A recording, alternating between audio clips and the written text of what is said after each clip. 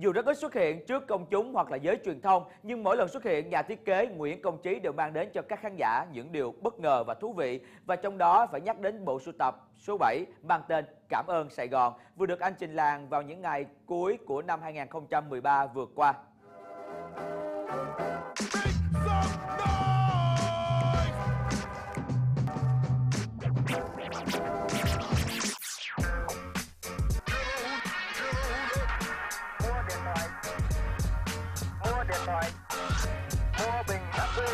百音长，知道知。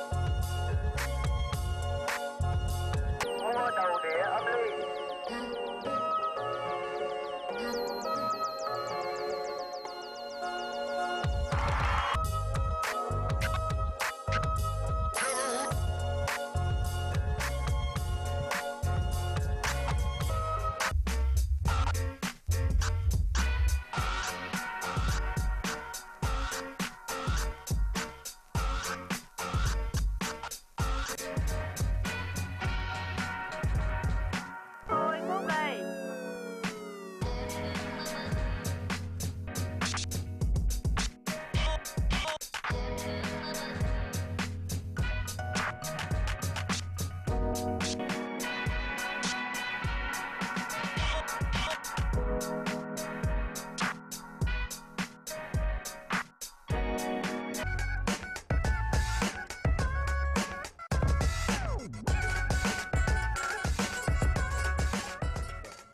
Ngay bây giờ sẽ là chuyên mục Thế giới trong trang sách. Và trong thế giới này, chúng tôi không chỉ muốn giới thiệu với tất cả quý vị chỉ có sách và sách mà thôi, và còn có những câu chuyện đằng sau việc tạo và có được những ý tưởng hay cho những quyển sách của chúng ta đa dạng và đầy màu sắc. Và nếu như văn học được kể đến đầu tiên trong bảy bộ môn nghệ thuật, thì thiết nghĩ nên dành cho loại nghệ thuật sau đây một vị trí hết sức đặc biệt, không kém, thưa quý vị. Đó là nghệ thuật thiết kế, bìa sách. Và ngay sau đây thì anh Khoa và những người thực hiện chương trình xin được giới thiệu tất cả quý vị cuộc nói chuyện với anh Tạ Quốc Kỳ Nam, họa sĩ thiết kế bìa của công ty văn hóa và truyền thông Nhã Nam. Mình tìm hiểu biên tập viên sẽ cung cấp cho mình một cái phiếu thông tin trong đó là sẽ nói sơ về quyển sách về nội dung về không khí. Thì muốn tìm được ý tưởng thì mình phải hỏi rất là kỹ hỏi rất là nhiều câu hỏi để tìm cho bằng được cái chi tiết quan trọng hình ảnh quan trọng.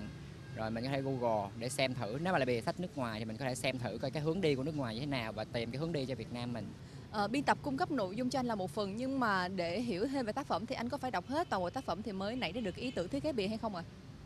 Nếu như mà phải đọc hết tác phẩm thì mới làm được thì chắc là một tháng có khi sẽ không làm kịp cái tiến độ. Nhưng mà bù lại á thì mình sẽ được cung cấp những cái câu hỏi cơ bản như là nội dung thế nào không khí ra sao giọng văn như thế nào hay là mình sẽ hỏi kỹ hơn về một cái cái cái cái, cái ý nghĩa nào đó của cuốn sách. Mất bao lâu thì anh thiết kế được một cái bìa sách ạ? nhanh nhất có những quyển sách thật ra chỉ cần làm trong một ngày vài tiếng đồng hồ bởi vì cảm hứng nó đến nó đến rồi cái cách mình chọn á cái hướng đi của nó thì quá là nhanh. Mình chọn cái cách thể hiện nó nó đơn giản ý tưởng đơn giản mình làm đơn giản. Mà cũng có những bìa làm có khi là hai ba tuần làm rồi sửa rồi để đó rồi tranh cãi qua lại rồi lại tiếp tục phát triển phát triển nó lên. Thì có những cái bìa mà lâu nhất thì có lẽ là khoảng 2 tháng 3 tháng. Khi mà thiết kế một cái bìa sách á, thì thì mình ra được thành phẩm rồi nhưng mà còn phải chịu tác động rất là nhiều từ phía biên tập từ phía nhà xuất bản. Thì anh anh anh nghĩ sao về những cái chuyện như thế này ạ? À, À, cũng có chứ. Có những trường hợp như là nếu mà đổi cái tên sách, ví dụ mà mình có cuốn này, thì các bạn thấy là tên của nó là nghe mùi kết thúc. Thì trước đây cái tên tựa gốc của nó khác, tên của nó là thế thì ví dụ nếu Tony. Tức là một cái tựa rất là lạ, rất lạ và rất dài thì nó sẽ nằm ở ngay đây. Thì khi mà thiết kế xong rồi, mọi thứ chỉnh chu hết rồi, cả cái đường viền của trứng như nhưng mà đùng một cái đổi tên, quyết định đổi thành một cái tên này thì phải thay đổi, phải thay đổi, phải vẽ lại những cái này cái kia. Nhưng mà cũng rất là may mắn, tức là mặc dù giữa hai cái tựa như vậy, nhưng mà cái hình ảnh thì không thay đổi. Hoặc là do cái khâu gọi là truyền đạt thông tin không đúng nữa. Khi mà biên tập viên truyền tải cho mình qua câu chữ thì họ hiểu theo cái cách đó của họ. Mà khi mình tiếp nhận thông tin, mình nghe những cái từ ngữ đó, rồi mình mình tìm hiểu riêng của mình mình lại có hình dung khác về cái quyển sách đó. Và ngoài ra một cái bìa thì phải vừa có tính thương mại và vừa phải đạt được cái chuẩn của riêng cái người thiết kế nữa um, cho nên rất là khó. Ví dụ như có những cái quyển sách mà mình làm bìa bìa mà nhìn nó có thể là nó sẽ bắt mắt nó lòe loẹt nó nó rực rỡ nhưng mà rất có thể là nó sẽ cực kỳ không hợp với cái quyển sách đó. Và có những cái bìa mà rất rất chi là hợp với cái quyển sách tức là nó không có thể chê vào đâu được về cái mặt ý tưởng về mặt cả mặt nghệ thuật và mặt nội luôn nhưng mà có thể là nó sẽ không không thể nổi bật, nó không nổi bật giữa muôn vàng những cuốn sách khác thì mình phải tìm tìm cách mình dung hòa giữa cái chuyện đó, giữa nghệ thuật và thương mại. Luôn luôn phải tìm cách dung hòa ở giữa. Thì đây là một cái bìa sách mà mình rất là tâm đắc. Tác giả thì đã vừa vừa qua đời trong năm ngoái. Thì đây là cái tác phẩm duy nhất của anh để lại. Thì anh là một họa sĩ. Thì thứ nhất mình chọn cái hướng tiếp cận là một chút gì đó, có mang màu sắc hội họa của bố cục, của hình họa, của màu sắc. Thì mình chọn những màu rất là ấm nóng để thể hiện được cái sự, cái tình yêu, nhiệt huyết của anh với với với với cuộc sống và mặc dù là anh bị đây là những tháng ngày cuối đời của anh rồi nhưng mà hoàn toàn không thấy cái chuyện đó thể hiện trong văn chương của anh. Thì ý tưởng đến nó nó phọt ra rất là tình cờ, mình đang ngồi mình tìm hiểu về quyển sách. Thì trong đầu mình vang lên cái câu là rồng rắn lên mây, có cái cây lúc lắc thì thế là mình quyết định là mình sẽ cho chữ chạy dọc qua những cái con phố và cả tên tác giả nữa. Thì như vậy thì cái bìa đó, thứ nhất là nó, khi mà nhìn vào người ta sẽ biết ngay là a viết rõ ràng là mặc dù là phố mà ta hoàn toàn có thể hình dung đây là về Hà Nội.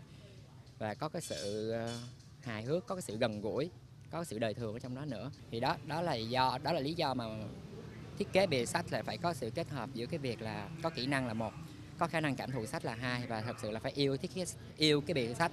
Bởi vì công việc thiết kế bìa sách là một công việc khá là khó trong số tất cả các loại luôn. Vâng xin cảm ơn anh rất là nhiều ạ. Kính thưa tất cả quý vị khán giả và đó là những lời chúc đầu năm, những ờ, món quà lì xì bằng tinh thần mà những người thực hiện chương trình của chúng tôi vừa gửi đến tất cả quý vị với hình ảnh của những nghệ sĩ mà quý vị yêu mến và còn rất rất nhiều những gương mặt nghệ sĩ từ các lĩnh vực khác nhau nữa. Họ vẫn luôn muốn gửi đến cho các khán giả yêu thương mình những lời chúc tốt đẹp nhất cho một năm mới. Còn giờ đây là lời nói của anh Khoa và những người thực hiện chương trình cũng như những người đại diện cho kênh truyền hình FBNC xin được gửi đến tất cả quý vị khán giả cho một năm mới thật may mắn, nhiều bình an, sức khỏe và hạnh phúc.